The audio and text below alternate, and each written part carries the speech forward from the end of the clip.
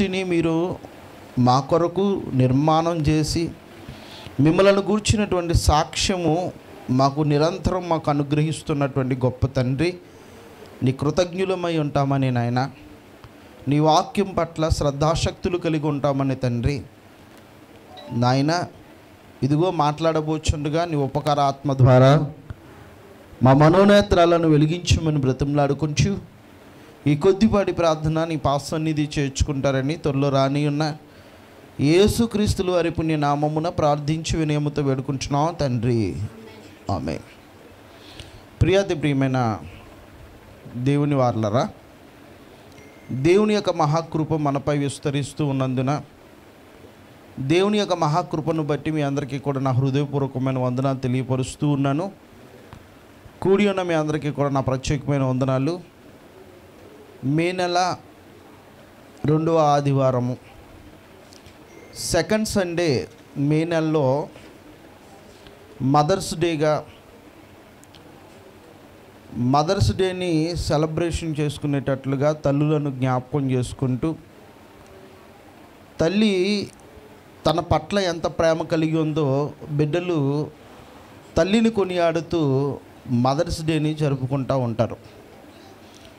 ఇది అధికారపూర్వకంగా పంతొమ్మిది వందల పదకొండవ సంవత్సరంలో అమెరికాలో ప్రారంభమైనటువంటి ఈ యొక్క మదర్స్ డే.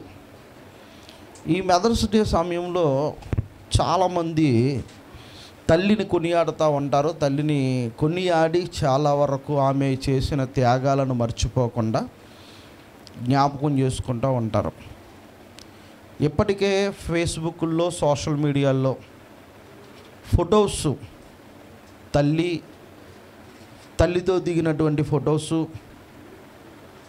ఆమె చేసినటువంటి త్యాగపూరితమైనటువంటి ఒక త్యాగం తన జీవితంలో ఏదైతే త్యాగపూరితంగా తల్లి ప్రేమను అనుభవించారో అది జ్ఞాపకం చేసుకుంటూ దాన్ని కొనియాడుతూ సోషల్ మీడియాలో కొంతమంది వాళ్ళ యొక్క స్పందన తెలియపరుస్తూ ఉన్నారు.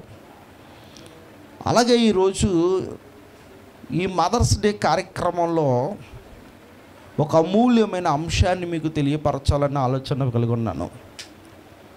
ప్రిలరా తల్లి గర్భంలో నిర్మాణం జరుగుతున్నప్పుడు ఒక రక్తపు గడ్డలో నుంచి అవయవాలు నిర్మాణం అవుతున్నప్పుడు తన శరీరంలోనే నిర్మాణం అవుతున్నటువంటి యొక్క అవయవాలను తల్లి చూడలేదు తల్లి వీక్షించలేదు. ఆ విషయం మనకు తెలుసు. తన తల్లి గర్భములో అవయవాలు నిర్మాణం అవుతున్నప్పుడు ఆ తల్లి ప్రత్యేకంగా చూడలేదు. ఏ తల్లి చూడలేదు. ఎందుకంటే నిర్మాణం చేస్తుంది ఎవరు? దేవాతి దేవుడు. అయితే ఒకవేళ ఆ కుమారుడు మరణించాడు అనుకుందాం అనుకుందాం. కుమారుడు మరణించిన తర్వాత ఆ కుమారుడి యొక్క బాడీ దగ్గర తల్లి విలవిలలాడుతూ తల్లి విలవలలాడుతూ ఆ బాడీ డీకంపోజ్ అయ్యేంత వరకు కూడా తల్లి గుండెల మీద పడి ఏడుస్తూ ఉంటుంది. అంటే నా ఇంటెన్షన్ ఏంటంటే గర్భములో నిర్మాణము జరుగుతున్నప్పుడు చూడని తల్లి ఆ శరీరం ఐదు అడుగులు ఆరు అడుగులు ఆకారం కలిగిన తర్వాత ఆ శరీరము ఏ పార్ట్కి ఆ పార్ట్ విడిపోతూ ఉంటాయి. ఆ విషయం మనకు తెలుసు. గతంలో చెప్పినట్లుగా ఆకాశం నుండి చినుకు పడినప్పుడు ఆ చినుకు పడినటువంటి ఆ ప్రాంతం ఏదైతే ఉంటుందో అది ఇసుక ముద్దగా మారుతుంది. అలా మారిన తర్వాత అందులో ఉన్న నీరు ఆవిరైపోతున్నప్పుడు ఏ రేణుకి ఆ రేణు ఎలాగైతే విడిపోతూ ఉంటుందో అదే రీతిలో మరణానంతరము అవయవాలన్నీ విడిపోతూ ఉంటాయి. మీరు జాగ్రత్తగా ఆలోచించాలి. తల్లి గర్భంలో శరీరం ఎలాగైతే సంతరించుకుంటుందో అప్పుడు వస్తున్నాయి. అప్పుడు ఏమవుతున్నాయి వస్తున్నాయి. ఇప్పుడు ఏమవుతున్నాయి పోతున్నాయి. వస్తున్నాయి పోతున్నాయి. వస్తున్నాయి పోతున్నాయి. మనకి యోగు గ్రంథంలో ఒక అద్భుతమైన మాట ఉంటుంది నీ హస్తములు నాకు అవయవ నిర్మాణం చేసి నాకు ఈ రూపాన్ని ఇచ్చినవి. జిగట మన్నుగానున్న నన్ను నీవు నిర్మించితివి. ఒకడు పాలు పోసినట్లు నన్ను పోసితివి కదా. జున్నుగడ్డ పారబెట్టినట్టు నన్ను పారబెట్టిదివి కదా. చర్మముతోనూ మాంసముతోనూ నన్ను కప్పితివి ఎముకలతోనూ నరములతోనూ నన్ను సంధింపజేసితివి అంటడం. అంటే చర్మము మాంసము ఎముకలు నరాలు ఇవన్నీ అవయవాలన్నీ తల్లి గర్భంలో దేవుని చేత నిర్మింపబడతా ఉంటాయి.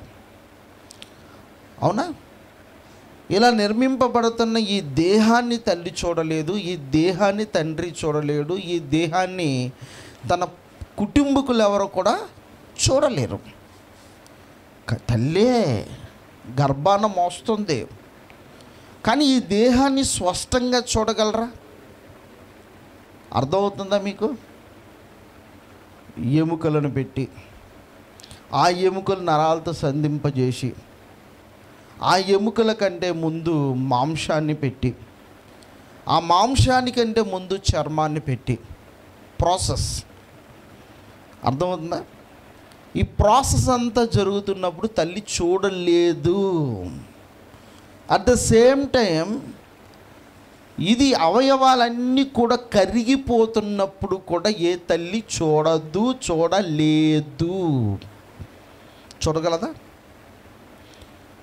మళ్ళీ అడుగుతున్నా చూడగలదా? తన బిడ్డ భూమి మీద మరణించిన తర్వాత మహా అయితే ఆ బాడీ డీకంపోజ్ అయ్యేంత వరకు కొద్ది నిమిషంలో ఆ బాడీ మీ దగ్గర ఉంటుంది. ఒకవేళ ఈమె ఉండాలన్నా ఇతరులు ఎవరు ఉండనివ్వరు. ఎందుకంటే అది అంత భయంకరమైన బ్యాడ్ స్మెల్ వస్తుంది. కొంచెం ప్రేమ ఎక్కువయ్యి ఒక రోజు ఉంచవచ్చు రెండు రోజులు ఉండొచ్చు ఇదంతా ఎందుకు నేను చెప్తున్నాను అంటే ఒక తల్లి ప్రేమను మీకు వివరించటానికే బోధిస్తున్నాను. వాస్తవం. ఒక తల్లి ప్రేమను మీకు వర్ణించటానికి ఈ విషయాన్ని అంతా కూడా మీకు తెలియపరుస్తూ ఉన్నాను. తన బిడ్డలు ఇద్దరు ఎందుకు చనిపోతున్నారో తెలియదు ఒక రాజు కుటుంబానికి సంబంధించినటువంటి తన బిడ్డలిద్దరు కూడా ఎందుకు మరణిస్తున్నారో తెలియని పరిస్థితులలో ఒక తల్లి ఉంది. అట్ ద సేమ్ టైం వాళ్ళిద్దరు బిడ్డలను ప్లస్ బిడ్డలతో సమానులైనటువంటి ఇంకొక ఐదుగురిని కలిపి ఒక ప్రాంతంలో ఉరేసేస్తారు వాళ్ళని. ఇలా ఉరేసేసిన తర్వాత వాళ్ళు చనిపోయిన తర్వాత వాళ్ళ కలేబరములు ఏవైతే ఉన్నాయో ఆ కలేబరములను ఆకాశ పక్షులు వచ్చి తినకుండా అడవి మృగాలు రాకుండా చాలా రోజులు కాపలా కాసి తన కళ్ళ ముందే తన పిల్లలు అవయవాలన్నీ కూడా తరిగిపోతున్నప్పుడు కల్లారా చూసినటువంటి తల్లి ప్రేమ ఒక ఆవిడ ఉంది. నిజం. కన్నులతో చూస్తుంది తన తల్లి. ఒంటరిగా శ్మశానంలో ఎవరూ లేని ప్రాంతములో ఆ శవాలు పైన ఉరుకొయ్యకి వేలాడబడి ఉన్నటువంటి ఆ సమయంలో కొన్ని రోజులు పాటు అన్నపానాలు మానేసి అక్కడే తమ బిడ్డల శవాలను కాచుకున్న మహాతల్లి. నిజం? తమ బిడ్డలు పక్షులు పాలు కాకూడదు. తమ బిడ్డలు అడవి మృగాల పాలు కాకూడదు. తన శరీరములో గర్భవతిగా ఉన్నటువంటి ఆమె తమ శరీరములోనే సంతరించుకున్నటువంటి ఆ దేహాలు ఎటువంటి పరిస్థితుల్లో కూడా అడవి మృగాల పాలు కాకూడదని విశ్వ ప్రయత్నాలు చేసిన మహా తల్లి. ఆ తల్లిని గూర్చినటువంటి వివరణ ఈరోజు నేను ఇవ్వబోతున్నాను. వాస్తవం. బైబిల్లో కొంతమంది స్త్రీలను చూసినప్పుడు వాళ్ళ పిల్లల కోసం ప్రాణాలను సైతం లెక్క చెయ్యని తల్లులు కొంతమంది ఉన్నారు. వాళ్ళ బిడ్డల కోసం ప్రాణాలను సైతం ఇచ్చేసిన తల్లులు కూడా కొంతమంది ఉన్నారు. తెలుసా? కొంతమంది తల్లులను ఆలోచించున్నట్లయితే ప్రియమైన వాళ్ళరా ఒక తెలిసిన ఒక ఆవిడ బాగా తెలిసిన ఒక ఆవిడ. తల్లి కోసం మాట్లాడుతున్నప్పుడు తల్లి కోసం సందర్భం వచ్చింది కనుక మాట్లాడుతున్న ఒక ఆవిడ. ఆవిడకి చదువు లేదు. చదువుకోలేదు. ఆమె గర్భాన పుట్టినటువంటి ఆమె కుమార్తె మాత్రం బాగా చదువుకుంది. ఈ చదువుకున్నటువంటి ఈ కుమార్తె నిరంతరం కూడా ఏం చేసేదంటే అమ్మ అంటే కొంచెం అసహించుకునేది. ఎందుకంటే ఆమె చదువుకోలేదు. ఆమె చదువుకోకపోయినా ఈమెను చదివించటానికి ఆమె చేస్తున్న ప్రయత్నం కుమార్తెకు అర్థం కావటంలా ఉదయాన్నే బస్సు వస్తూ ఉంటుంది. ఉదయాన్నే బస్సు వస్తుంది. నాన్న మాత్రం తన్ని పెట్టి పడుకుంటాడు. ముసుగు వేసుకుని పడుకుంటాడు. తెల్లారుజామున లెగాలి. లేచి తన పిల్ల ఎక్కడైతే కరెక్ట్గా భోజనం టైంలో మళ్ళీ ఆకలితో ఉంటుందని తెల్లవారుజాము లేచి ఆమెకు ఆహార పదార్థాలన్నీ కూడా సిద్ధపరుస్తూ సిద్ధపరుస్తూ సిద్ధపరుస్తూ ఆమెకి కావలసినవన్నీ సమకూర్చి ఆమె పుస్తకాలు సదిరి ఆమె బ్యాగులు సదిరి ఆమెకి జల్లేసి స్కూలు బ్యాగ్ స్కూలు బస్సు దగ్గర తీసుకెళ్ళేసరికి ఆ టిఫిన్ క్యారేజ్ కూడా ఆ భోజనం క్యారేజ్ కూడా ఇచ్చినప్పుడు ఆ కుమార్తె అనేది అమ్మ నువ్వు వెనకాతలు రాక. నిన్ను నా ఫ్రెండ్స్కు పరిచయం చేయాలంటే నాకు బాధేస్తుందమ్మా. నువ్వు ఎడ్యుకేషన్ లేని దానివి చదువు లేని దానివి నువ్వు నేను చూస్తుంటే నాకు అవమానంగా ఉంది. మా ఫ్రెండ్స్ అందరు నన్ను అవమానపరుస్తున్నారు. నువ్వు నా వెనకాతలు రాకమ్మా. అని అని తల్లిని అవమానపరిచేది. ఇలా తల్లిని అవమానపరుస్తూ అవమానపరుస్తూ అవమానపరుస్తున్న తల్లి ప్రేమ గొప్పది కదా. తన బిడ్డే కదా. తన కుమార్తె కదని ఎంతో ఓర్చుకునేదండి తల్లి. ఒకరోజు ఆ యూనివర్సిటీలో మంచి మార్క్స్ వచ్చినాయి అమ్మాయికి. అద్భుతమైన మార్కులు వచ్చినాయి. ఈ అద్భుతమైన మార్కులు వచ్చిన తర్వాత ఇంటికి ఆ అమ్మాయి పరిగెత్తుకుని పరిగెత్తుకుని పరిగెత్తుకుని వచ్చేసింది. తీరా వచ్చేసరికి తల్లి ఇంటి దగ్గర ఉంది. ఇదిగో నీ నాకు ఇన్ని మంచి మార్కులు వచ్చినాయి అని తల్లికి చెప్పడానికి ఇన్సల్ట్గా ఫీల్ అయ్యింది. చాలా ఇన్సల్ట్గా ఫీల్ అయిపోయింది. ఏమి చెప్తే ఏముంది? అన్ఎడ్యుకేటెడ్ పీపుల్ చదువులేని వా- తల్లి. ఈమెకి చెప్పినా ప్రయోజనం ఉండదనుకుని తల్లికి చెప్పడం మానేసింది. మానేసి ఇంట్లోకి వెళ్ళింది. డాడీకి ఫోన్ చేస్తుంది నానా నానా నాన్నను ఫోన్ చేస్తుంది. నాన్నగారు హుటాహుటిన వచ్చేసాడు. ఏంటమ్మా? నాన్న నాకు నైంటీ ఫైవ్ పర్సెంటేజ్ వచ్చింది నాన్న. అమ్మ నా తల్లి అని తండ్రి ఎంతో మెచ్చుకుని ఐఆమ్ ప్రౌడ్ ఆఫ్ యూ అని చెప్పి లోపల నుంచి తండ్రి చెప్తున్నాడు భార్యతో ఏమే నీ కూతురు చూసావా? ఎంత గనురాలుగా ఎంత చక్కగా నైంటీ ఫైవ్ పర్సెంటేజ్ తెచ్చుకుంది తెలుసా? అనేసరికి అమ్మ సంతోషపడిపోయింది. నాకు చెప్పలేదని బాధ లేదు కానీ ఆవిడకి వెంటనే ఆవిడ ఏం చేస్తుంది అంటే లడ్డూలు చేస్తూ వచ్చింది. ఇదిగో నా కూతురు పాస్ అయ్యిందని ఎమ్మటనే లడ్డూలు చేయడం ప్రారంభించింది. అమ్మ దగ్గరికి వచ్చింది అమ్మ డబ్బులు డబ్బులు అనేసరికి అమ్మ నా దగ్గర డబ్బులు లేవే. మీ నాన్నగారు నాకు మందులు కానీ మందు డబ్బులు ఇచ్చారు కదా ఆ డబ్బులు తీసుకెళ్ళమ్మని ఆ బిడ్డకి ఇచ్చింది ఆ బిడ్డ ఫ్రెండ్స్తో సహా సెలబ్రేషన్ చేసుకోవడానికి ఆ బిడ్డ బయటికి వెళ్ళింది ఆ బైక్ వేసుకుని బయటికి వెళ్ళిన తర్వాత కొద్ది నిమిషాలకి ఆ పిల్లకి యాక్సిడెంట్ అయ్యింది.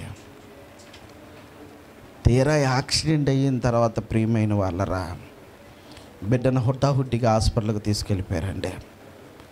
ఎవరో ఫోన్ చేసి ఇంటికి వచ్చి నీ బిడ్డకి యాక్సిడెంట్ అయ్యింది రక్తం అంతా పోయింది హాస్పిటల్కి వెళ్ళన్నారు తీరా హాస్పిటల్కి అమ్మ హుటాహుటిన హుటాహుటిన చాలా ఫాస్ట్ ఫాస్ట్ ఫాస్ట్గా. గుండె ఆగిపోయిన పరిస్థితుల్లోకి వచ్చి నా బిడ్డకి ఏమైపోతుంది నా బిడ్డకి ఏమైపోతుందని ఏడుస్తూనే పాప మా తల్లి పరుగులు తీసి పరుగులు తీసి పరుగులు తీసి హాస్పిటల్కి వెళ్ళిపోయింది తీరా హాస్పిటల్కి వెళ్ళిన తర్వాత డాక్టర్ అన్నాడు అమ్మ నీ బిడ్డ బ్రతకదు. కొన ప్రాణంలో ఉంది.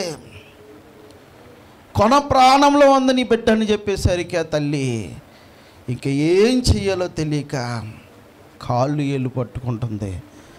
డాక్టర్ గారు కాళ్ళు పట్టుకుంది. తీరా పట్టుకున్న తర్వాత ప్రియమైన వాళ్ళరా అతను అన్నాడు అమ్మా రక్తం చాలా పోయింది కనుక నీ బిడ్డకు అర్జెంటుగా రక్తం ఎక్కించాలి. నువ్వు బ్లడ్ ఇస్తావా అన్నాడు. బాబు నా రక్తం అంతా తీసుకోండి. నా బిడ్డను మాత్రం బతికించండి. నా రక్తం మొత్తం తీసుకోండి. నా బిడ్డను బతికించండి. నా బిడ్డ నా మాంసాన్ని పంచుకుని వచ్చింది. ఒక రక్తపు గడ్డగా ఉన్న సమయంలో నా మాంసాన్ని పంచుకుని నా రక్తాన్ని పంచుకుని నా ప్రేగును తెంచుకుని వచ్చిన నా బిడ్డ. ఆ బిడ్డను బ్రతికించాలి. చెబుతుంది. రక్తం తీసుకున్నారు. అనుకోకుండా డాక్టర్లు ఆ రక్తాన్ని జార విడిచారు రక్తం అంతా నేలపాలైపోయింది. మళ్ళీ డాక్టర్లు వచ్చారు. అమ్మా ఐఎమ్ సారీ రక్తం మొత్తం నేలపాలైపోయిందమ్మా నీకా రక్తం తీసుకున్నాం కనుక నీరసం అయిపోయింది కనుక ఇంకో బాటిల్ తీసుకోవడానికి అవకాశం ఉండదమ్మా అంటే విపరీతంగా బలవంతం పెట్టిందంట తల్లి. నా బిడ్డ బతకాలి. నా బిడ్డ బతకాలి అని విపరీతంగా విపరీతంగా విపరీతంగా ప్రెషర్ పెట్టేసరికి ఇక డాక్టర్లకి ఏం చేయాలో తెలియక బిడ్డ లేకపోతే తెల్ల అని ఆమెలో నుంచి రక్తాన్ని మళ్ళీ తీయడం మొదలుపెట్టారట. తీస్తున్నారు తీస్తున్నారు తీస్తున్నారు. చాలా రక్తం తీసేశారు. చివరి రక్తపు బొట్టు ఆ బాటిల్లోకి వెళుతుంది. అంటే తల్లిలో నుంచి చివరి రక్త బొట్టు బాటిల్లోకి వెళ్తుంది. చివరి రక్తపు బొట్టు కూతుర్లోకి వెళ్తుంది. జాయిగా తల్లి ప్రాణం విడిచింది. జాయిగా కుమార్తె కన్ను తెరిచింది. అర్థమవుతుందా? జాయిగా తల్లి ప్రాణం విడిచింది. జాయిగా కుమార్తె ప్రాణం పోసుకుంది. నిజం ప్రియమైన వాళ్ళరా ఇది తల్లికి బిడ్డకున్న సంబంధం. ప్రతి రక్తపు బొట్టును కూడా తనలో నుంచి వచ్చినటువంటి రక్తమే నీ శరీరంలో ప్రవహిస్తున్న రక్తం. తనలో నుంచి వచ్చిన మాంసపు ముద్ద నీ శరీరము. బిడ్డ కన్ను తెరిచింది. కన్ను తెరిచిన వెంటనే నానా అన్నదే. అనవలసింది నాన్న కాదమ్మా. నాన్న గొప్పోడే. కానీ ఆ నాన్నే వచ్చి అంటున్నాడంట అమ్మా అమ్మా అమ్మను అడుగమ్మా అనేసరికి అమ్మని అడిగిందంట ఇంకెక్కడమ్మమ్మ? నీ కోసం తన ప్రాణాన్ని సైతం వదిలిందమ్మా నీ తల్లి. తన చివరి రక్తపు బొట్టు వరకు కూడా నీ కోసం బలి అయిపోయిందమ్మా నీ తల్లి. అదమ్మా నీ తల్లి ప్రేమ. ఆమె చదువుకోలేదు. ఆమె చదువుకోలేదు. ఆమె అన్ఎడ్యుకేటెడే కానీ నువ్వు చదువుకోవాలని వివాహమైన తర్వాత తనకున్న ఆశలన్నీ వదులుకొని తన బిడ్డల కొరకు వాళ్ళ త్యాగం చేస్తారమ్మా. వాళ్ళ కోసం ఎప్పుడు వాళ్ళు ఆలోచించుకోరు. ఒకవేళ వాళ్ళ ఆహారం తీసుకోకపోయినా వాళ్ళ ఆహారం తీసుకోకపోయినా వాళ్ళ కడుపు మార్చుకుంటారేమో కానీ నీ కడుపు మాత్రం ఏ రోజు మార్చలేదమ్మా. నీ తల్లి నీ కోసం అహోరం రాత్రులు కృషి చేసిందమ్మా. అదమ్మా తల్లి అని చెప్పారు. గొల్లుమని కాలెట్టి ఆ తల్లి కోసం ఎంతగానో రోధించింది ప్రియమైన వాళ్ళరా. ఇలాంటి సందర్భాన్ని మీకు ఎందుకు తీసుకొచ్చానంటే బైబిల్లో ఉత్తమ తల్లులు చాలామంది ఉన్నారు. ఉత్తమ తల్లులు. ఒక హన్నా గారిని ఆలోచిస్తే ప్రియమైన వాళ్ళరా హన్నా గారు సమయోలి యొక్క మెత్తని మనసు పొరల మీద వాక్యాన్ని రాసేసింది. మెత్తని మనసు అనే పొరల మీద వాక్యాన్ని రాసింది. నిజం. తన గృహాన్ని నిలబెట్టుకుంది తన పిల్లలను సంరక్షించుకుంది తన పిల్లలను దేవుని బోధలో పెంచుకుంది. మరొక స్త్రీ ఆవిడ పేరు మిష్పా. బిడ్డలు కళ్ళ ముందు చనిపోయారు. ఎందుకు చనిపోతున్నారో తెలియదు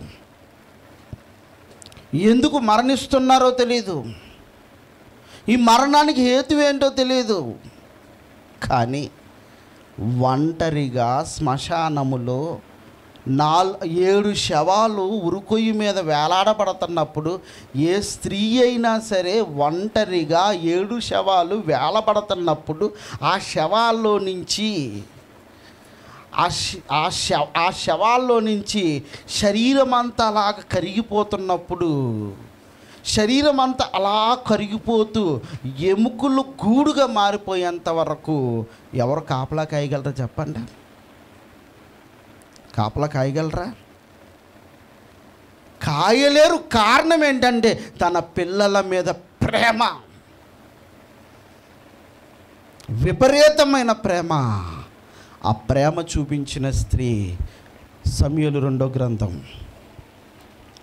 ఇరవై ఒకటో అధ్యాయము.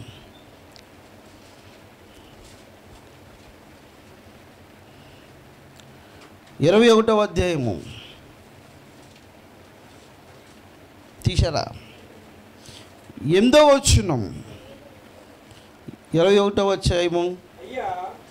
అయ్యా. అయ్యా. కుమార్తెకు మిష్పా. శౌలునకు కనిన ఇద్దరు కుమారులకు అర్మోనిని మెపిబోషేతును సౌలు కుమార్తెకు మెరబు మహ్- మహోలోతీయుడకు బర్జిల్లాయు కుమారుడైన అద్రియలునకు కనిన ఐదుగురు కుమారులను పట్టుకొని గిబియోనియుల కప్పగించెను. వారు ఏడుగురిని తీసుకొని పోయి కొండ మీద యెహోవా సన్నిధిని ఉరి తీసిరి. ఎంతమందిని? ఏడుగురిలో ఇద్దరు కుమార్తెలు ఎవరంటే కుమారులు ఎవరంటే మిష్పా యొక్క కుమార్తెలు. అదవుతుందా హిస్టరీ చెప్తుంది నేను అందరి కుల హిస్టరీ చెప్తాను. తర్వాత ఉరి ఆ ఏడుగురు తీసుకుని పోయి కొండ మీద యహోవ సన్నిధిని ఉరి తీసిరి. ఆ ఏడుగురు ఏకరీతిని చంపబడిరి. కోత కాలమున ఎవల కోత ఆరంభమందు వారు మరణమైరి. అయ్యా కుమార్తెగు మిష్పా గోనిపట్ట తీసుకుని కొండపైన పరుచుకుని కోత కాలారంభము మొదలుకుని ఆకాశము నుండి వర్షము ఆ కలేబరముల మీద కురి వరకు అచ్చటనే ఉండి. అచ్చటనే ఉండి. అచ్చటనే ఎక్కడుంది? కలేబరాల మధ్యలో ఉంది. కలేబరాల దగ్గర ఉంది. కలేబరాలు ఎవరివి అంటే అందులో ఇద్దరు కలేబరాలు తన కుమారులియే ఏమండి? ఒక్కసారి ఆలోచించండి ఎంత అపురూపంగా పెంచుకుంటున్న తన ఇద్దరు కుమారులు తన కళ్ళ ముందే ఎందుకు మరణిస్తున్నారో తెలియదు మరణించిన తర్వాత ఆ ఉరుకొయ్యి మీద వాళ్ళు వేలాడబడుతున్నటువంటి ఆ పరిస్థితిని ఆలోచిస్తున్నప్పుడు ఏ తల్లి గుండె కరుక్కుపోదో చెప్పండి. వాదార్చడానికి లేరు. వాదార్చడానికి ఎవరు? లేరు. మగ్ధులేని మరి అని ఓదార్చటానికి కొంతమంది స్త్రీలు ఉన్నారు ఆమె ఏడుపును చూడలేక యేసుక్రీస్తు ప్రభులు వారే వారి రూపంలో అమ్మా ఎందుకు ఏడుచున్నావు అని అడిగారు. కదా? కానీ వాళ్ళిద్దరు కుమార్తెలను ఆ కొండ మీద ఉన్నప్పుడు ఆవిడ ఎంత ఎక్కెక్కి ఎక్కెక్కి ఎక్కెక్కి ఏడుచుంటుందండి ఆ మిష్ప. చూడండి అక్కడ అంటున్నాడు. అయ్యా కుమార్తెకు మిష్ప గోని పట్ట తీసుకొని కొండపైన కొండ పైన పరుచుకుని కోతకాల ఆరంభము మొదలుకొని ఆకాశము నుండి వర్షము ఆ కలేబరముల మీద కురియు వరకును అచ్చటనేయుండి ఆకాశ అచ్చటనే యుండి. ఆకాశ ఏమండి? అచ్చటనే యుండి. పగలు ఆకాక్ష పక్షులు వాటి మీద వాలకుండను. రాత్రి అడవి మృగములు దగ్గరకు రాకుండాను. వాటిని కాచుచుండగా అయ్యా కుమార్ ఆమ్- అయ్యా కుమార్తెయగు మిష్పాను షౌలు ఉపపత్ని చేసినది దావీదునకు వినబడెను. ఒక రాజుకు వినబడింది ఈమె ఎవరంటే ఈ మిష్ప అనేటువంటి స్త్రీ ఎవరంటే షౌలు గారి ఉపపత్ని ఎవరైమే? దావీదు గారి కంటే ముందు రాజు ఎవరు? షౌలు గారు. అవునా? సమ్యుల దగ్గరికి ఆ ఊరు పెద్దలందరూ వచ్చినప్పుడు ఆ ఊరు పెద్దలందరూ యొక్క ఇష్టం ప్రకారముగా రాజును అడుగుతారు. ఆ రాజును అడిగినప్పుడు సౌలు గారే గొప్ప రాజుగా కనబడతాడు అక్కడ మనకి. సౌలు గారిని ఎన్నుకున్న తర్వాత సౌలు గారికి పెండ్లి భార్య ఉంటుంది. అలాగే పూర్వపు రాజులకి. పూర్వపు రాజులు కొంద కదా నాకెందుకు లేదని మాత్రం అనకండి. ఎవరే క్రిస్టియన్? నువ్వెవరో? క్రైస్తవుడు. నువ్వు క్రైస్తవుడు కనుక ప్రతివానికి సొంత భార్య ఉండాలి ప్రతి పురుషునికి స్త్రీకి సొంత భర్త ఉండాలి తప్ప ఇద్దరు ముగ్గురు ఉండడానికి వీల్లేదు ఆనాటి కాలం వేరు ఈనాటి కాలం వేరు. ఆనాటి ధర్మశాస్త్రపు కాలం వేరు ఈనాటి కొత్త నిబంధనపు కాలం వేరు. కాబట్టి అప్పుడు చేసేయన్నీ ఇప్పుడు చేస్తానని మళ్ళీ ఉపపత్ని పెట్టుకోక నువ్వు. నువ్వే రాజు కాదు. ఏ? కాబట్టి ఇక్కడ చూడండి జాగ్రత్తగానే. అయ్యా కుమార్తెకు మిష్పాను షౌలు ఉపపత్ని ఎవరిమే? సౌలు గారి యొక్క ఉపపత్ని ఈ ఉపపత్నికి ఇద్దరు కుమారులు పుట్టారు. ఇద్దరు కుమారులు పుట్టారు. వాళ్ళ పేర్లు కూడా చెప్పారు. ఈ ఇద్దరు కుమార్ ఇద్దరు కుమారులు ఇద్దరు కుమారులు సౌలు గారు మరణించిన తర్వాత సౌలు గారు యోనాతను తర్వాత ఇంకో కుమారుడు ముగ్గురు కుమారులు చనిపోతారు. సౌలు గారి యొక్క ముగ్గురు కుమారులు చనిపోతారు. తర్వాత ఈ సౌలు గారి యొక్క ఇద్దరు కుమారులు కాకుండా ఇంకో కుమారుడు ఉంటాడు. ఎందుకంటే నలుగురు కుమారులు సో సౌలు గారికి ఏమో మొదటి పెండ్లి భార్యతో నలుగురు కుమారులు అలాగే ఉపపత్నికి ఇద్దరు కుమారులు.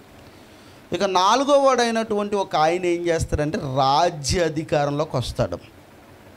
ఎవరో? నాలుగో అతను. ఈ ఉపమత్తిని కుమారులు ఈమె ఆ రాజ్యంలో ఉంటుంది. ఆమె యొక్క చరిత్ర చూద్దాం ఒకసారి. మొదటి సమయ రెండో సమయాల గ్రంథం మూడో అధ్యాయము. రెండో సమయాల గ్రంథం మూడో అధ్యాయము.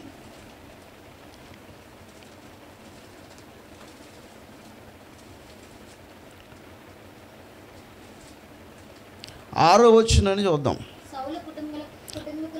సౌలు కుటుంబ కుటుంబీకులకును దావీదు కుటుంబీకులకును యుద్ధము జరుగుచుండగా యుద్ధము జరుగుచుండగా అబ్నేరు సబులు కుటుంబ కుటుంబీకులకు బహు సహాయము చేశాను. అబ్నేరు అనే ఒక ఆయన ఉంటాడు ఆయన సైనాధిపతి సౌలు యొక్క సైనాధిపతి ఎవరంటే అబ్నేరు గారు. ఈ అబ్నేరు గారు సౌలు కుటుంబకులకు మహా సహాయం చేసినటువంటి వ్యక్తి. అర్థమవుతుందా? దావీది గారి దగ్గర యావాబు గారు సై సైన్యాధిపతిగా ఉంటారు. అలాగే సౌలు గారి దగ్గర మాత్రం అబ్నీర్ అనేటువంటి ఒక వ్యక్తి ఈయన కూడా సైన్యాధిపతిగా ఉంటారు.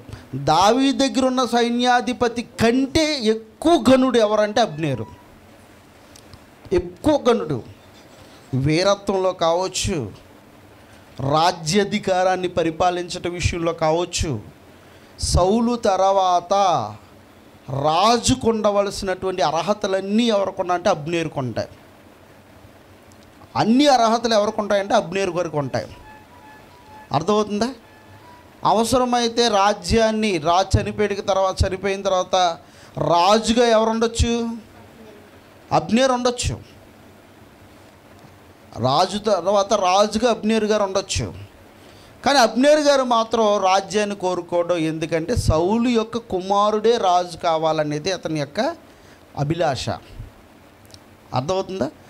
అవకాశం వచ్చింది కదా కుచ్చెక్కేటువంటి వ్యక్తి కాదు అబ్నేరు. చాలా మంచి వ్యక్తిత్వం ఉన్నటువంటి వ్యక్తి. ఆ వ్యక్తి గూర్చి ఎందుకు ప్రత్యేకించి మాట్లాడవడం జరిగింది అంటే ఈ అబ్నేరుకుని ఈ మిష్పా అనేటువంటి ఒక స్త్రీకిని ఎవరో దావీదు గారి యొక్క సౌలు గారి యొక్క ఉపపత్ని. ఈమెకు మధ్యలో ఒక అనుమానము అనేది వ్యక్తపరచడం జరిగింది. వీళ్ళకి ఏదేమో వీళ్ళకి ఏమైనా సీక్రెట్గా లైఫ్ ఏమైనా ఉందేమో అన్న కొంచెం అనుమానం అనేది ఉంటుంది. అర్థమవుతుందా? ఎవరికైనా పొరపాటున వాళ్ళిద్దరూ ఏ రాజ్యం కోసమైనా మాట్లాడుకుంటున్నారనుకో ఈజీగా ఏమంటాం? అనుమానిస్తారా అనుమానించరా? అనుమానిస్తారా అనుమానించరా? అలాంటి అనుమానము గూర్చి మాట్లాడుతూ అక్కడ చెప్తున్నాడు చూడండి. సౌలు కుటుంబకులకును దావీదు కుటుంబకులకును యుద్ధము జరుగుచుండగా అబ్నేరు సౌలు కుటుంబకులకు బహు సహాయము చేసెను. అయ్యా కుమార్తె అయిన మిష్పా యను ఒక ఉపపత్ని సౌలుకుండెను మళ్ళీ వచ్చింది ఈమె. సౌలుకుండెను నా తండ్రికి పత్నియకు ఉపపత్నియకు దానిని నీవెందుకు కూడితివని? ఇష్బోషేతు రాజు అన్నాను కదా రాజుగా ఇక్కడ అన్నారు కదా ఇష్బోషేతుని రాజుగా ఎన్నుకున్నారు. ఉమ్, ఇష్బోషేతు అబ్నేరును అడుగుగా అబ్నేరును ఇష్బోషేతు అడిగిన మాటకు బహుగా కోపగించుకుని నిన్ను దావీదు చేతికి అప్పగింపక నీ తండ్రి అయిన సౌలు ఇంటి వారికి అతని సహోదరులకును అతని స్నేహితులకును ఈవేళ ఉపకారము చేసిన నన్ను యోధావారికి చేరిన కుక్కతో సమానంగా చేసి ఈ దినమున ఒక స్త్రీని బట్టి నా మీద నేరము మోపుదువా? చాలా బాధపడ్డాడట. తప్పు చేస్తే బాధపడ్డాం. తప్పు చేస్తే బాధపడ్డాం. నిజంగా ఈ అబ్నేరు అనే అతను లేకపోతే అబ్నేరు అనే అతను లేకపోతే ఈ సేనాధిపతి అనే అతను లేకపోతే ఇష్బోషేతుకు రాజ్యం అనేది వచ్చి ఉండేది కాదు. అర్థమవుతుందా? రాజ్యం అనేది వచ్చి ఉండేది కాదు. చాలా నమ్మకమైన వాడు చాలా నమ్మకస్తుడు రాజు కుటుంబానికి చాలా నమ్మకం కలిగినటువంటి వ్యక్తి సౌలు కుటుంబానికి చాలా నమ్మకమైనటువంటి వ్యక్తి ఈ వ్యక్తిని ఈ ఉపపత్ని అయినటువంటి మిష్పాను అనుమానిస్తారు. అర్థమవుతుందా? ఈ వ్యక్తిని ఈ మిష్పానును అనుమానిస్తారు. అనుమానిస్తారు. కానీ అనుమానించారే తప్ప ఆమె తప్పు చేయలేదు. తన భర్తతోనే కట్టుబడి ఉంది. ఒక పక్క భర్త చనిపోయాడు. తను ఎంతో ప్రేమించినటువంటి సౌలు గారు చనిపోయారు. ఒక పక్క కొడుకులుగా ఉన్నటువంటి ఆ ముగ్గురు చనిపోయారు. అలాంటి పరిస్థితుల్లో ఒక స్త్రీ యొక్క మనసు ఎలాగైపోతా చెప్పండి. ఒకసారి ఆలోచించండి. భర్త చనిపోయిన ఒంటరితనముగా ఉన్నటువంటి ఆ స్త్రీ యొక్క పరిస్థితి ఏంటి? ఆమె ఎంత దుఃఖంలో ఉన్నప్పుడు ఇలాంటి నిందనేశారు చెప్పండి. ఒక భయంకరమైన నింద ఆమె మీద వేసేస్తారు. ఇలాంటి భయంకరమైన నిందను భరిస్తున్న సమయములో మరొక భయంకరమైనటువంటి పరిస్థితి ఆమె జీవితంలో జరిగింది ప్రియమైన వాళ్ళరా. అదేంటంటే సౌలు గారు ఎప్పుడో చేసిన చిన్న పొరపాటు. సౌలు గారు చేసిన చిన్న పొరపాటుకి తన కుమారులు ఇద్దరూ బలి అయిపోవలసిన పరిస్థితి వచ్చింది. అర్థమవుతుందా? సౌలు గారు చేసినటువంటి చిన్న పొరపాటు ఏంటంటే గిబియోనులు. ఈ గిబియోనులైనటువంటి వీళ్ళని ఏం చేస్తారంటే ప్రియమైన దేవుని పిల్లలారా యహుష్వ గారి కాలంలో వీళ్ళతో పాటు నివసించడానికి దేవుడు అనుమతిస్తాడు వీళ్ళని సౌలు గారు ఏం చేస్తారంటే చంపేస్తారు కొంతమందిని. చంపేస్తే ఇలా చంపేసినందుకు గిబియోనులు అందరూ వేరైపోతారు. వేరైపోయిన తర్వాత ఆ దేశములో సౌలు గారు మరణం తర్వాత వర్షం కురవడం మానేస్తుంది. వర్షం ఉండదు. కరువు పెరిగిపోతూ ఉంటుంది.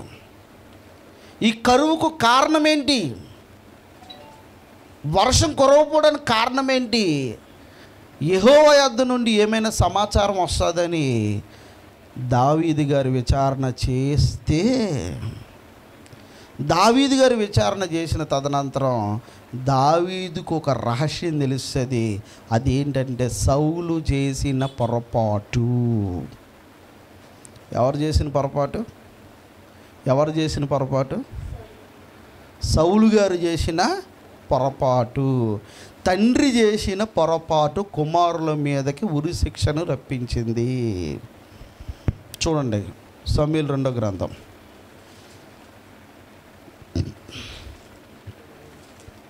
ఇరవై ఒకటో అధ్యాయము.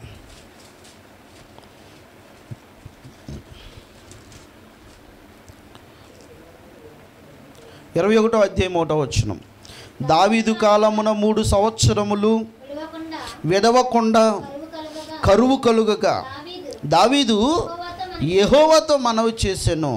అందుకు యహో ఎలాగూ సెలవిచ్చాను.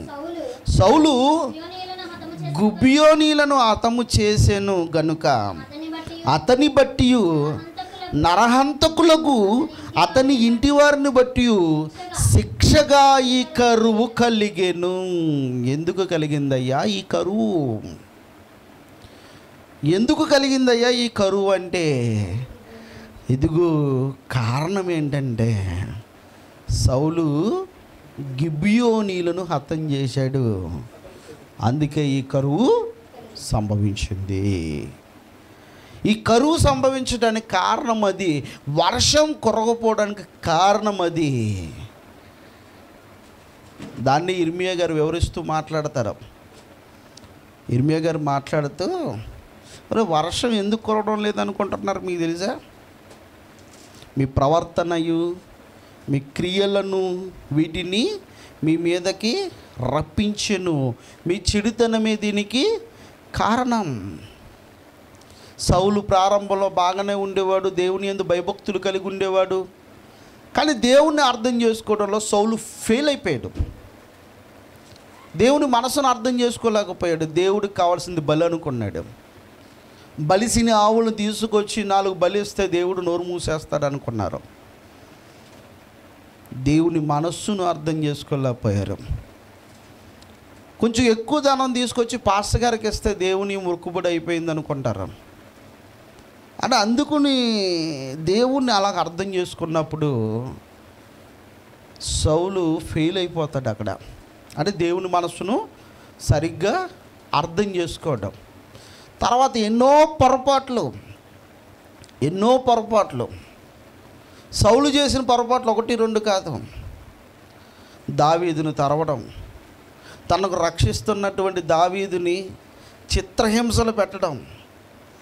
అలాగే గిబియోనీలను యహుష్వ గారి కాలంలో వీళ్ళ మీతో పాటు సహదాసులుగా ఉంటారు కనుక వీళ్ళని ఎటువంటి పరిస్థితుల్లోనూ కూడా మీరు ఎటువంటి పరిస్థితుల్లో కూడా మిమ్మల్ని వీళ్ళని మాత్రం మీరు ఏమీ అనకూడదు.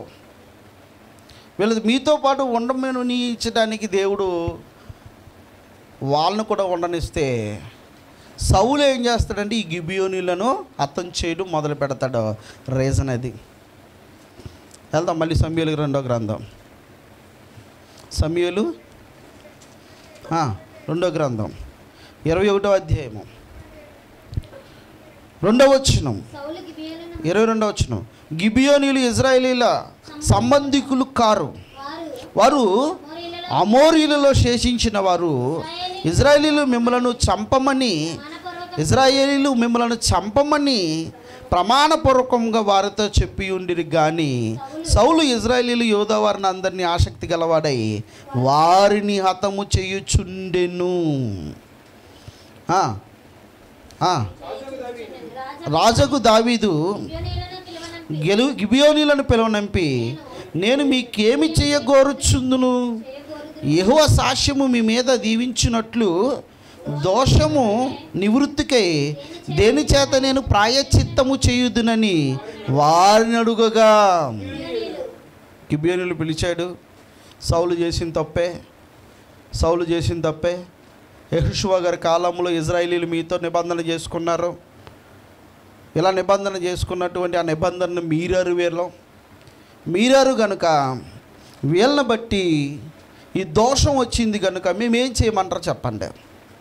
అసలు దావీదు అనుకున్నాడంటే ఏమైనా బంగారం ఇచ్చేసి లేదా ఏమైనా వజ్రవైడూర్యాలు ఇచ్చి లేదా లేదా ఆ, రాజ్యమైలో కొంచెం బాగానే ఇచ్చేయడానికి గిబియోనిలకి వాగ్దానం చేసేయడం కానీ వాళ్ళు ఏం కోరుకున్నారో చూడండి అక్కడ.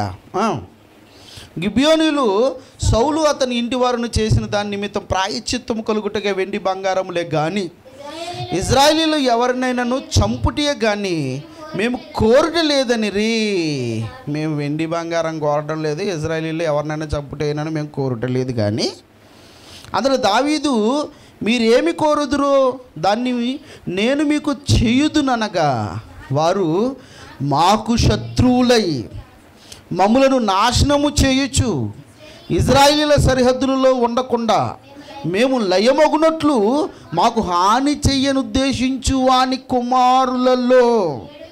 ఏడుగురిని మాకు అప్పగించుము. ఎందుకు? ఎందుకు వీళ్ళకి ఎంత ద్వేషం? సౌలా చనిపోయడం. సౌలు పెద్ద కుమారుడు. దావీదు ప్రాణ స్నేహితుడు యోనాతను చనిపోయాడు. వాళ్ళ ముగ్గురు కుమారులు చనిపోయారు. ఇప్పుడు ఏడుగురు కుమారులను అప్పగించమంటున్నాడు. ఎందుకంటే వాళ్ళని మేము చంపి మా కక్షను మేము తీర్చుకోవాలి. సౌలు కుటుంబం అనేది భూమి మీద ఉండకూడదు. సౌలు కుటుంబీకులందరూ మరణించాలి. ఆ మరణముల్లో మిష్పా గారి ఇద్దరు కుమార్తె కుమారులు ఉన్నారు. ఇప్పుడు తల్లికి విషయం తెలియదు. తల్లికి విషయం తెలీదు. ఇప్పుడు మనకు కూడా అర్థం కావాలి. యేసుక్రీస్తు ప్రభులు వారు పుట్టక పుట్టిన తర్వాత రామాలు అంగలార్పు వినబడెను. మహారోధధ్వని పసి పిల్లలను కత్తి వాతన చంపుతున్నటువంటి పరిస్థితి. తన కమ్మ బిడ్డలనే పసి పసి పిల్లలని కత్తి వాతన చంపుతున్న పరిస్థితిని చూడొచ్చు అక్కడ. కదా? అలాంటి పరిస్థితులలో తన బిడ్డలను సంఖ్యలు లేసుకుని అప్పటి వరకు రాజభోగాలు అనుభవిస్తున్న బిడ్డలు. రాజకుమారులు. ఆమె ఎంతో గుణవంతురాలు కనుక సౌలు అతన్ని ఆమెను ప్రేమించి సౌలు ఆమెను ప్రేమించి అసలు ఉపపత్ని అంటే అవసరాలు తీర్చుకుని వదిలేసేటువంటి కుమార్తెలు వాళ్ళు. అంతేగాని సంతానం ఇవ్వడానికి ఎవరు ఇష్టపడరు. సంతానం ఇచ్చాడు అంటే దానికి అర్థం ఏంటి అంటే సౌలు మిష్పాను చాలా ప్రేమించాడు. అంటే ఆమె గుమ గుణగుణాలు చూడండి మంచి గుణగుణాలు ఆమెకి అర్థమవుతుందా? ఆమె దేవుణ్ణి ఎరిగి ఉండకపోవచ్చేమో కానీ ఆమె దేవుణ్ణి తెలుసుకుని ఉండకపోవచ్చేమో కానీ ఆమె అన్నిరాలే కావచ్చేమో కానీ తమ బిడ్డల శవాలను కొన్ని రోజుల పాటు కళ్ళతో చూసిన తల్లి. చచ్చిపోయిన వెంటనే తన దారిని తను చూసుకోవచ్చు. ఆ శవాలను వదిలేసి వెళ్ళిపోవచ్చు. ఆ బాడీని తీసుకెళ్తున్నప్పుడు తల్లి రోధిస్తుంది రోధిస్తుంది రోధిస్తుంది రోధిస్తుంది. రోధించిన తర్వాత అమ్మ అయితే నువ్వు ఒక పని చెయ్యమ్మని ఆ బెడ్ని అక్కడ కప్పెట్టేసిన తర్వాత ఈ మంచం తీసుకెళ్ళి అక్కడ వేసేసామనుకోండి ఒక రోజు రాత్రి ఉండగలదా? రాత్రి అంతా ఉండగలదా? కానీ ఎన్ని రోజులు ఉందామే ఎన్ని రోజులు ఉంది? ఎన్ని ఎన్ని రోజులు ఉందో చూసారా? వర్షం ఆ కలేబరాలను తాకేంత వరకు. వర్షం కలేబరాలను తాకేంత వరకు అంటే ఆ కోతకాలం మొదలుకొని వర్షం కలేబరాలు తాగేంత వరకు ఆమె అచ్చటనే ఉంది. ఎందుకనంటే ప్రియమైన దేవుని పిల్లల ఒకటి ఆలోచించాలి ఏ కరువు ఇజ్రాయలీల ప్రజల మీద భారంగా ఉందో ఆ కరువు పోవాలంటే వీళ్ళ బలి అవ్వాలి ఆ కరువు పోవాలంటే వీళ్ళ బలి అవ్వాలి ఆ కరువు పోవాలంటే ఎవరు బలి అవ్వాలి తన ఇద్దరు కుమారులు బలి అవ్వాలి అవునా? ఆ ఇద్దరు కాక ఐదుగురు ఉన్నారు కానీ ఆ ఆ- ఆ ఐదుగురు తల్లి మాత్రం రాలేదు అక్కడికి. వచ్చిందా? రాలేదు. ఆ గిబియోను కొండ మీదకి రాలేదు. ఐదుగురు తల్లులు రాలేదు కానీ ఈ ఇద్దరు కుమారుల తల్లి మాత్రం వచ్చింది. ఆ వర్షం ఆ కలేబరల తాకేంత వరకు కూడా అచ్చ అచ్చటనే ఉండిపోయింది అంటే ఆ దేశములో కరువు పోవాలి. నా కుమారుల బలి ఆ దేశం నుంచి కరువు ప్రాణద్రోలాలే. నా కుమారుల చావు అనేక మందికి ఆహారముగా మారాలే. అర్థమవుతుందా? మంచి తల్లేనా? మంచి తల్లేనా? అద్భుతమైన తల్లేనా? ఈ మదర్స్ డే రోజునే ఆమెను జ్ఞాపకం చేసుకోవడం తప్పేం లేదు కదా? తప్పేనుందా? ఆ? మిష్పా గారి జీవితం చాలా గొప్పది.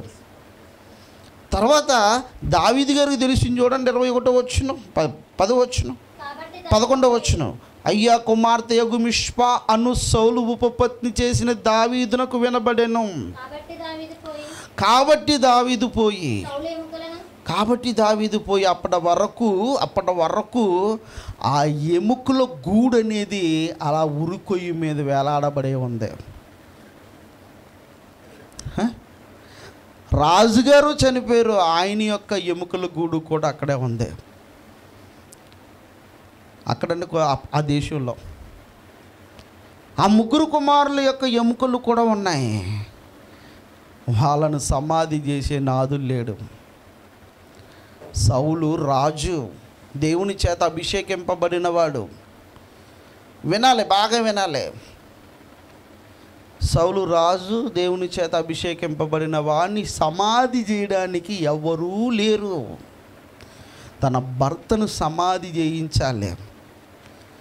తన ముగ్గురు కుమారులు తన ముగ్గురు కుమారులు ప్లస్ ఏడుగురు కుమారులను సమాధి కార్యక్రమాలు జరగాలి. అది దావీదే చెయ్యాలి. ఈమె పట్టుదలతో అక్కడ ఉండిపోవడం చూశాడు ఎవరో? దావీదు. ఆమె ఉందా? ఎస్ ఆ గిబ్బియోన్ కొండ మీద ఉందా? ఆ కొండ మీద ఉంది. ఎన్ని రోజులు ఉంది? ఇన్ని రోజులు ఉంది. ఆశ్చర్యపోయాడు. ఆ తల్లి ఆ బిడ్డల మీద ఎంత ప్రేమ లేకపోతే ఆమె అక్కడ ఉంటుంది ఎంత ప్రేమ ఆమెకు తన కళ్ళ ముందే వాళ్ళ బిడ్డలందరూ కూడా ఆ శరీరం అంతా కూడా నీరైపోతున్నప్పుడు ఆ శరీరం అంతా కూడా కరిగిపోతున్నప్పుడు ఏ పాటుగా పాటు ఇడిపోతున్నప్పుడు ఏ ఎముకలు కాక ఎముకలు ఇడిపోతున్నప్పుడు ఆ? ఆ ఉరు కొయ్యి మీద ఉన్నటువంటి ఆ బిడ్డలు అదే ముఖం కొన్ని సంవత్సరాల క్రితం ముద్దాడిన ముఖం సంకనెత్తుకున్నటువంటి ఆ బిడ్డలో సంఖలో ఎత్తుకుని ఆడించినటువంటి ఆ బిడ్డలు నిజంగా ఉరికొయ్యి మీద వేలాడబడుతున్నప్పుడు ఆ రూపం మారిపోదా? ఆ రూపం మారిపోదా? ఆ నాలిక బయటకు వచ్చి అంద వికారంగా కనబడుతున్న తల్లి ప్రేమ తగ్గిపోలేదండి. తల్లి ప్రేమ తగ్గిపోలేదు. ఊరేసిన కుమారులు చూడండి రెండు రోజులు కానీ ఉరిమిగొయ్య మీద ఉంటే ఎంత అసహ్యంగా ఉంటాడో. ఆకాశ పక్షులు వచ్చి ఎక్కడైతే తమ బిడ్డలను పొడుచుకు తింటాయేమోనన్న బాధ. అడవి మృగములు వచ్చి ఎక్కడైతే పిక్కు తినేస్తాయేమోన్న బాధ. సమాధి కార్యక్రమం జరగాలంటే దావీదే తలుచుకోవాలి అక్కడ. దావీదే తలుచుకోవాలి. దావీదు తలుచుకుంటేనే సమాధి కార్యక్రమం జరుగుతుంది అక్కడ. చనిపోయిన తన కుమారులు సమాధి కార్యక్రమం జరగకపోతే తప్పేంటి అని అనుకోవద్దు. ఎందుకంటే మన కళ్ళ ముందు మన యొక్క బంధువులు కానీ మన వాళ్ళ యొక్క కానీ శవాలను ఏ అడవి మృగాలో పీకు తింటున్నారో మనం ఓర్చుకోగలమా? మనం సహించగలమా? సహించలేం. ఈమె చేసినది దావీదునకు వినబడినది. ఎవరికి వినబడింది? దావీదునకు. కాబట్టి దావీదు పోయి సౌలు ఎముకలను అతని కుమారుడైన యోనాతని ఎముకలను ఎబిస్కిలాదు వారి యొద్ద నుండి తెప్పించాను. పిలిస్తీలు గిల్బోవాలో సౌలును హతము చేసినప్పుడు వారు సౌలును యోనాతనును బెత్సాను పట్టణపు వీధిలో వేలాడగట్టగా ఎబేస్ ఎబేస్గిలాదు వారు వారి ఎముకలను అచ్చటి నుండి దొంగిలి తె- తెచ్చి ఉండిరి. కావున దావీదు వారి యొద్ద నుండి సౌలు ఎముకలను అతని కుమారుడైన యోనాతన ఎముకలను తెప్పించాను. రాజాజ్ఞను బట్టి ఉరి తీయబడిన వారి ఎముకలను జనులకు సమకూర్చిరి. సౌలు ఎముకలను అతని కుమారుడని ఏనాతను ఎముకలను బెన్యామీనుల దేశమునకు చేరిన శాలలోనున్న సౌలు తండ్రియగు కూషు సమాధి ఎందు పాతి పెట్టిరి అంటే వాళ్ళ ఎముకలన్నీ కూడా ఏరుగు తెచ్చారు. అంటే ఉరుకొయ్యి మీద నుంచి ఎముకలు ఏమైపోయినాయి? ఏమైపోయినాయి? కింద పడిపోయినాయా? కింద పడిపోయినాయా? అంటే కింద పడిపోయేంత వరకు ఆమె కాసిందా? కాసిందా? ఏ తల్లి అయినా కాస్తుందా అలాగా? కాయగలదా? కాయలేదు. ఆ ఏడుగురు కుమారుల యొక్క బాడీసే కాకుండా సౌలు బాడీని సౌలు యొక్క ఎముకలను యోనాతని ఎముకలను అతని ఇద్దరు కుమ ముగ్గురు కుమారుల ఎముకలను కూడా ఆ గిబియోనీలు దొంగిలించుకుని తీసుకొచ్చారంట రాత్రికాల సమయంలో. ఉరేసేసారు ఉరేసేసి తలకాయ తీసేశారు ఉరేసేసారు కోట వేలాడ తీసేశారు ఆ పట్టణంలో. అక్కడి నుంచి తీసుకొచ్చారు వాళ్ళు. ఆ ఎముకలు కూడా గిబియోనుల దగ్గర ఉన్నాయి. దావీది తీసుకొచ్చి సౌలు యొక్క తండ్రి అయిన కీషు సమాధి అందు పాతిపెట్టిరి ఈ కార్యక్రమం జరగడానికి కారణం ఎవరంటే ఈ మిష్ ఈ యొక్క ఆ, సౌలు ఉపపత్తి అయిన మిష్పా కారణం. ఏంటండి ఏం పేరు? రిస్పా రిస్పా మిష్పా కాదు రిస్పా. రిస్పా కారణం. ఎవరు? రిస్పా కారణం. కాబట్టి చూడండి ఎంత పట్టుదలతో ఆమె బాడీస్ని కాసిందో ఒకసారి ఆలోచించండి. ఆమె యొక్క గొప్పతనం చాలా గొప్పతే. ఆమె దేవుణ్ణి ఎరగకుండినను తమ బిడ్డల మీద ఉన్నటువంటి ప్రేమ అనురాగం చాలా గొప్పదే. ఒక కోడి తన రెక్కల కిందకి ఎలాగైతే కాసదో దేవుడు కూడా మనల్ని అలాగే కాసుకుంటూ ఉంటాడు. కోడి తల్లి చాలా గొప్పది. ఆ తల్లిని జ్ఞాపకం చేసుకుని కోడి పిల్లలు ఎక్కడా కూడా ఫేస్బుక్లో హ్యాపీ మదర్స్ డే అని పెట్టినయా? పెట్టినయా? కోడి పిల్ల పెట్టిందా? కుక్క పిల్ల పెట్టిందా? మేక పిల్ల పెట్టిందా? మరి మేకకి పిల్ల ఉంటుంది తల్లి ఉంటుంది కదా? కోడికి తల్లి ఉంటుందా లేదా? ఉంటుందా? తల్లులను చూపిస్తూ కోడిని చూపించారు కోడిని చూపిస్తున్నారు తల్లి నువ్వు కోళ్ళలాగా ఉండాలి. పైన గెద్ద తిరుగుతుంది కనుక నీ పిల్లల్ని ఎక్కడ తెచ్చుకోవాలి? తన రెక్కల కిందకి తెచ్చుకోవాలందే. కదా? పైన గద్ద తిరుగుతుంది. లోకంలో ఎవరు తిరుగుతున్నారు? సాతాను తిరుగుతున్నారు. నీ పిల్లలు నీ రెక్కల కింద ఉన్నారేంటి? ఉన్నారా? ఏరు నీ పిల్లలు నీ రెక్కల కింద ఏరి?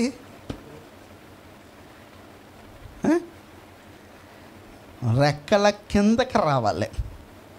అప్పుడే వాళ్ళకి రక్షణ. కోడి పిల్లలు కోడి రెక్కల కింద ఎలాగైతే ఉంటాయో ఈ బిడ్డలు కూడా తల్లి రెక్కల కిందకి రావాలి. నీ తల్లి చెప్పు ఉపదేశముకు చెవియొగ్గుము. అన్నాడా లేదా? ఇప్పుడు అంటాను మంచి షార్ట్ మంచి న్యూస్ చెప్తాను జాగ్రత్తగానండి. హ్యాపీ మదర్స్ డే అని ఫేస్బుక్లో పెట్టే వాళ్ళందరూ కూడా ఈ ఒక్క రోజైనా తల్లి మాట వింటారా? అమ్మ మాట వింటారా? పాస్ట్ పాస్టర్ గారు మా అమ్మకు ఉల్లిపాయలు కోస్తానండి పచ్చిమిరకాయలండి రెండుగా సిక్కుతానండి. వంట పనిలో సహాయం చేస్తానండి. అమ్మ ఇవాళ వంట వండకమ్మా. నేనే వండి పెడతానమ్మా. నీకు ఏ కూర అంటే ఇష్టం అమ్మా.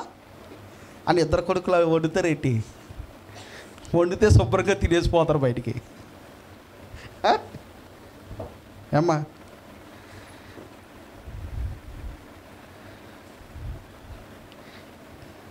తల్లి గొప్పదే. తల్లి లేని వారికి తెలుస్తుంది తల్లి విలువ. నిజంగా ఒక వీడియో చూసిన తర్వాత నాకు ఏడుపు వచ్చిందండి. అమ్మటిని ఏలియానికి ఫోన్ చేశాను నేను. ఆ తేజగాడు వీడియో నేను నిజంగా ఏడిచాను నిజంగా. ఆడు ఆ సమాధి దగ్గర కూర్చుని అమ్మని ఎక్కడే పెట్టారు అమ్మని ఎక్కడే పెట్టారు అని అంటుంటాడు. నేను చూడలేకపోయాను నేను. అడిగి తెలిసింది ఆ విలువ. ప్రియులరా ఒకసారి ఆలోచించండి. అమ్మ ఉన్నంతసేపు అమ్మ ఉన్నంతసేపు మనకి ఏ లోటు ఉండదు అమ్మ ఉన్నంతసేపు మనకి అన్నీ ఉండి పెడుతుంది. దేవునికి లేని అమ్మ మనకుందే. కాబట్టి ఆలోచించండి. అమ్మను ఉన్నతంగా చూసుకోండి. అమ్మ చెప్పిన మాటను వినండి. అందుకు నా హృదయపూర్వకమైన వందనాలు తెలియపరుస్తూ నా మాటలు ముగిస్తున్నాను. మహిమగల తండ్రి కృపగల దేవాన్ని బంగారు పాదాలకు లెక్కలేని స్థుతులు స్తోత్రములు తండ్రి. తల్లి స్థానాన్ని ఎవరు భర్తీ చేయలేరు. ఇదిగో మరొక తల్లి వచ్చిన అంత ప్రేమ చూపించదు అని వివాహాన్ని కూడా నిషేధించుకుని ఒంటరిగా బ్రతుకుతున్నటువంటి కుమారుడు ఏలియా విషయంలో జ్ఞాపకం చేసుకోండి. నాయన తమ బిడ్డలకు ఎలా వాదార్చాలో తన తల్లి తన లేని తల్లి యొక్క ప్రేమను తనలో చూపించడానికి ప్రయత్నాలు చేస్తున్న బిడ్డను మీరు జ్ఞాపకం చేసుకోండి. ఆ బిడ్డలను ఓదార్చి నీ కృపను అనుగ్రహించండి.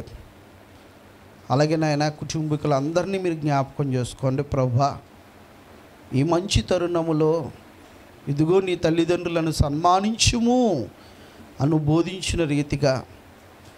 ఇదిగో నాయన తల్లి ఏ ఆశయాలతనైతే భూమి మీద మమ్మలను కోరుకుందో దేవుని యొక్క యథార్థమైన జీవితాన్ని జీవించాలని కోరుకుందో అటు జీవితాన్ని జీవించడానికి కావలసిన శక్తి సామర్థ్యాలను బిడ్డలకు అనుగ్రహిస్తారని. ఈ బిడ్డలందరినీ మీరు జ్ఞాపకం చేసుకోండి. ఇదిగో తల్లిని కోల్పోయిన కుటుంబాన్ని జ్ఞాపకం చేసుకొని వారికి ఓదార్పును ప్రసాదించమని బ్రతంలాడుకొంచు అలాగే కుటుంబీకులందరినీ మీరు జ్ఞాపకం చేసుకొనిచున్నారని. సంఘాన్ని మొత్తం జ్ఞాపకం చేసుకుంటున్నారని ఈ కొద్దిపాటి ప్రార్థన నీ పాస్ సన్నిధి చేర్చుకుంటారని. త్వరలో రాని యేసుక్రీస్తు వరకు నన్ను ప్రార్థించి వినయంతో వేడుకుంటున్నాను తండ్రి. ఆమె